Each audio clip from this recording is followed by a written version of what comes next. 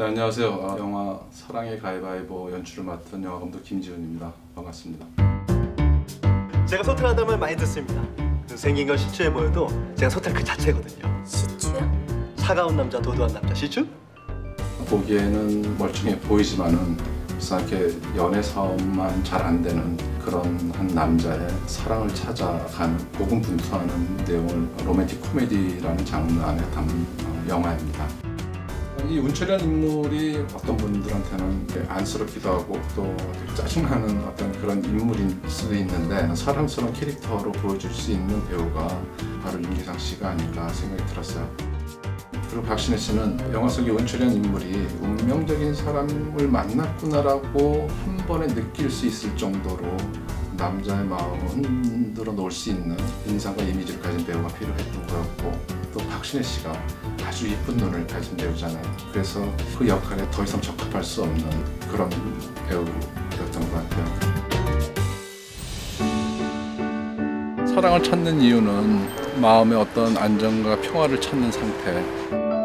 마찬가지로 우리가 이제 자연을 찾아가는 이유가 자연을 통해서 치유받고 어떤 에너지를 충전하고 뭐 이런 모티브로 자연을 찾곤 하는데 특히 이제 남산은 자연을 쉽게 접할 수 있어서 어떤 위안을 주는 곳이기도 하고 또 연인들의 데이트 코스이기도 하고 추억이 있는 곳이기도 하고 내가 네 엄마도 가위바위보 게임으로 모셨어.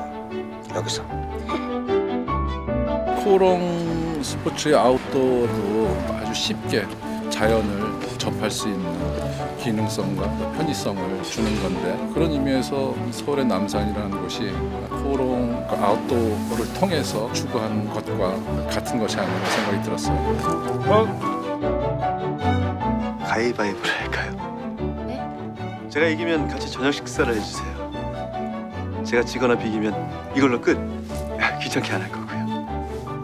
사람이 자연을 떠나가서 살 수 없는 것을 자연을 통해서 알 수 있는 것처럼 사람을 떠나가서는 살 수 없다는 것. 그래서 인생의 동반자를 어, 찾는 과정이 그 의미의 속살을 들여다보면 같은 것이 아닌가 생각이 들었어요. 우리 주변에 존재하는 모든 것 그것이 자연이다.